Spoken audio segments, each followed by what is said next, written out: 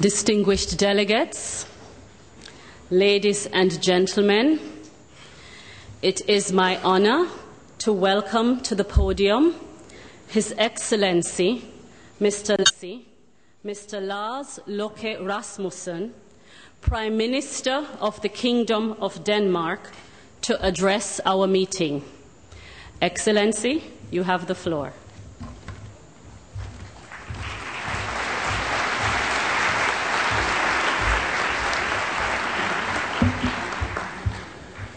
Ladies and gentlemen, excellencies, engaged people of the world, welcome to Denmark, welcome to Copenhagen, welcome to two weeks where we are to perform what is most difficult in politics.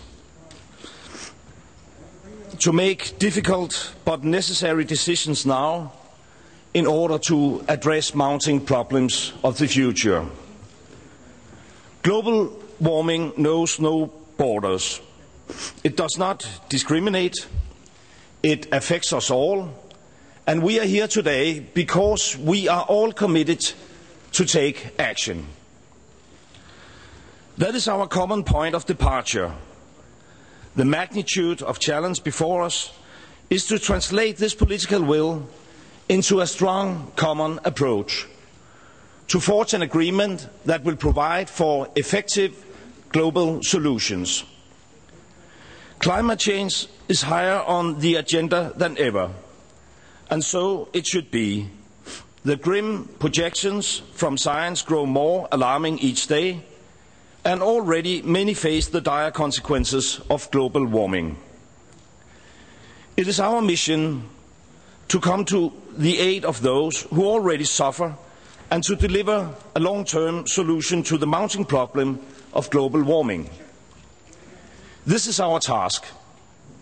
This is why we need a strong and ambitious climate change agreement here in Copenhagen.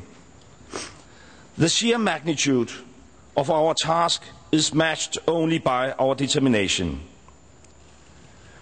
For more than a year, we have been conducting intensive consultation in preparation for this conference. In that context, I have had the pleasure of engaging with leaders from around the world, your leaders. Without exception, they have been supporting an ambitious agreement to halt global warming. I am, of course, painfully aware that we have different perspectives on the framing and precise content of such an agreement. And I'm sure that no one in this hall underestimates the difficulty we are facing in finding a common approach in the coming two weeks. But the political resolve to forge a global agreement is manifest, and differences can be overcome if the political will is present, and I believe it is. As we move ahead over the next days, we will rely critically on you to help to develop an agreement that is both acceptable to all parties and at the same time strong and ambitious. An agreement that is just and equitable, an agreement that is effective and operational. To achieve that, we shall need all the technical skills and diplomatic entrepreneurship you command. The world relies on you to successfully conclude the country-driven process that you launched in Bali. It relies on us to support you in achieving that success in an exclusive and transparent manner. As I speak to you this morning, 110 heads of state and government have announced that they will be coming to Copenhagen next week in the conclusion of this conference. Their presence reflects an unprecedented mobilization of political determination to combat climate change. It represents a huge opportunity, an opportunity the world cannot afford to miss. Your leaders do not come to Copenhagen just to talk. they come to act. And they come not to agree to just anything, but to agree to an effective deal based on our fundamental principles, on our common resolve, and on the political, social, and economic reality in our countries throughout the world.